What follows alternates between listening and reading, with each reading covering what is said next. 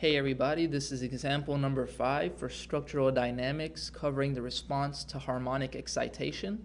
The problem statement that we have is we're asked to calculate the resonant amplitude and the maximum amplitude of steady state vibration for a structure with the following features. The weight of the structure is equal to 1,000 pounds, the stiffness is equal to 800 pounds per inch, and the damping coefficient is equal to 5 pounds second per inch and it's excited by a harmonic force of amplitude 500 pounds. FO is equal to 500 pounds.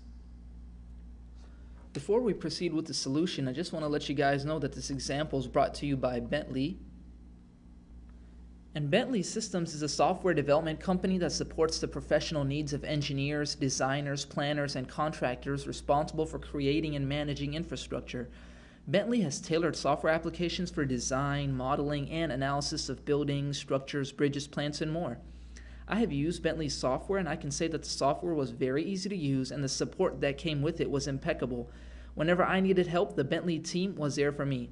And here's their website, it's bentley.com. There's a link to bentley.com and some of their YouTube channels within the description part of this video. So if you're a student and want to get familiar with the software and get a leg up over your colleagues during your job search, Academic licensing is available through Bentley. And if you're a practicing engineer and you want to sharpen up your skills, they have a bunch of videos and webinars on their website as well as their various YouTube channels, so please check them out. And now coming back to our dynamics problem, the first thing we're going to do is calculate the mass of this structure, and that's simply equal to the weight divided by the gravitational acceleration. So the mass is equal to 2.588 pounds second squared per inch. Next, we're going to calculate the circular natural frequency, and that's equal to the square root of the stiffness divided by the mass. So stiffness is 800 pounds per inch. So our circular natural frequency is equal to 17.58 radians per second. After this, we're going to calculate the critical damping constant, C sub C. And C sub C is equal to 2 times mass times the circular natural frequency. So our critical damping constant is equal to 90.994 pounds second per inch.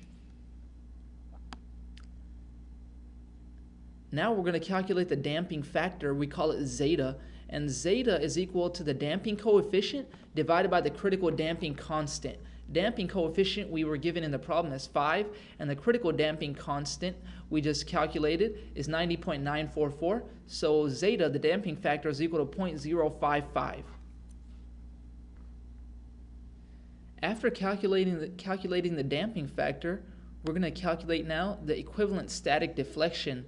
And the reason for doing that is going to be more apparent after this step. So the equivalent static deflection is equal to the, the amplitude of the harmonic force, F sub O, divided by the stiffness. So 500 pounds divided by 800 pounds per inch, and that's 0.625 inches. Now that we've calculated the equivalent static deflection, we can calculate the displacement amplitude at resonance and also the maximum amp uh, displacement amplitude. But first, let's consider the displacement amplitude at resonance, and that's equal to the dynamic magnification factor at resonance times equivalent static deflection. That's why we just calculated that the step before. So this DMF, the dynamic magnification factor at resonance, so the dynamic magnification factor, the regular formula for this, it's equal to it's equal to 1 divided by the square root of 1 minus r squared squared plus 2 times zeta times r squared. So if you see in this regular equation of the DMF, it, it requires us to know the frequency ratio R. But in the problem statement, we weren't given R.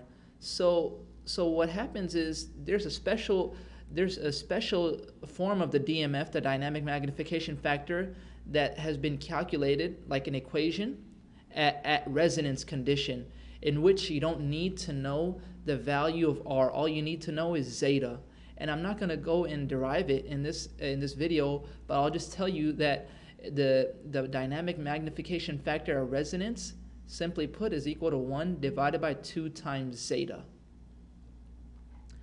And so it's so our displacement amplitude is equal to xo divided by 2 zeta. And so we get our displacement amplitude is equal to 5.68 inches. And lastly, we're going to calculate the maximum displacement amplitude. So this is not just at resonance, but overall maximum displacement amplitude. And it's we're going to take a similar approach. It's equal to the dynamic magnification factor, max, times the equivalent static deflection, x sub o. And so this DMF max, again, we, we're not going to use the regular equation of the dynamic magnification factor because we don't we can't we don't know r. And the reason we don't know r is because we don't know the excitation frequency the frequency of the harmonic force. So so there's a special way that this equation for the dynamic magnification factor the maximum is obtained. And again I won't uh, uh, I won't derive it in here but it's equal to 1 divided by 1 divided by 2 times zeta times the square root of 1 minus 2 zeta squared. This is our DMF max. And then times x sub o. So we just plug in the numbers and we get that the maximum displacement amplitude is equal to 5.70 inches. And so this is the end of this example. Please subscribe to the channel, check out the Facebook page and like it, facebook.com slash engineering examples. And please also visit the website at engineeringexamples.net. Thanks.